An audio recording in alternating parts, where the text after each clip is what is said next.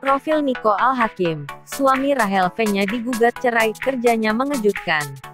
Rahel V-nya gugat cerai Niko Al-Hakim pada Rabu, tanggal 20 Januari tahun 2021 di Pengadilan Agama Jakarta Selatan.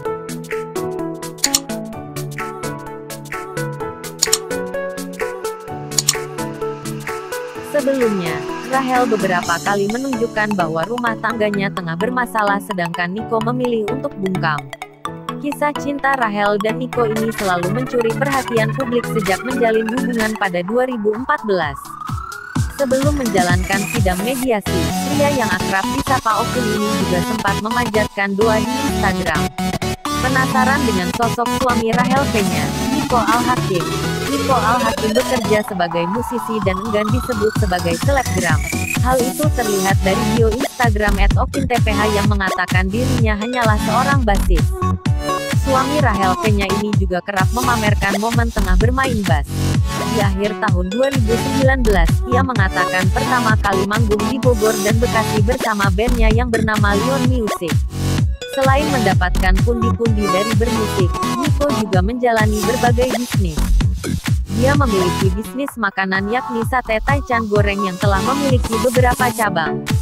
Bisnis makanan itu telah berdiri sejak tahun 2016 lalu dan makin sukses dengan berbagai menu baru. Nico juga mencoba peruntungan dengan bisnis clothing line. Salah satu hal yang sering dilihat dari Nico Al-Hakim ialah hewan peliharaan yang tak lepas ia pamerkan. Bahkan, highlight Instagramnya pun penuh dengan foto kucing. Pria 26 tahun ini memiliki kucing berjenis serval yang ditaksir memiliki harga 200 juta rupiah hingga 1 miliar rupiah. Menurutnya, kucing yang ia miliki tersebut tidak memerlukan perawatan yang rumit dan ia jarang memandikannya. Niko dan Rahel menikah pada tanggal 7 Januari tahun 2017 dan telah dikaruniai dua orang anak yakni Sabiru Ose Al-Hakim dan Aurora Echapa Al-Hakim.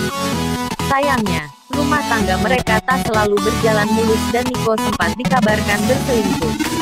Di awal tahun 2020, Bulan Russell membongkar bahwa Nico pernah berselingkuh dan bermalam di hotel dengan seorang wanita yang diduga bernama Lindsay Leslie Stewart. Mendengar hal ini, Rahel langsung mengatakan bahwa rumor tersebut hanyalah gosip belaka. Lindsay juga buka suara bahwa dia tidak memiliki hubungan dengan Nico. Terbaru, Nico Al-Hakim digugat cerai oleh Rahel V-nya. Sebelumnya, selebgram dengan 5 juta followers itu mencuri perhatian karena melepas hijabnya. Menurut Rahel, sang suami tidak masalah dengan penampilan terbarunya dan ingin dia bahagia. Permasalahan rumah tangga juga tidak pernah ia lontarkan dan Niko memilih untuk bungkam. Aku emang sekarang lagi di kondisi paling bawah kalau soal hubungan. Kondisi yang paling buruk lah. Tapi, aku gak mau orang-orang berspekulasi pernikahan aku itu selama ini buruk. Aku selalu merasa ini bakal lewat kok, ungkap Rahel V-nya pada Boy William. Sidang perceraian pun telah digelar pada Selasa, tanggal 2 Februari tahun 2021 dengan agenda mediasi yang hanya dihadiri oleh Niko. Pengadilan Agama Jakarta Selatan menjadwalkan sidang kedua pada Selasa, tanggal 9 Februari tahun 2021 terkait gugatan cerai Rahel V-nya untuk Niko Al-Hakim.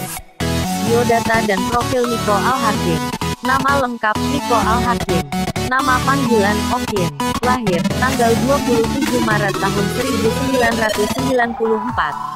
Agama Islam. Profesi. Selebgram, musisi, pengusaha. Pasangan. Rahel V-nya. Menikah pada 2017. Instagram @okintph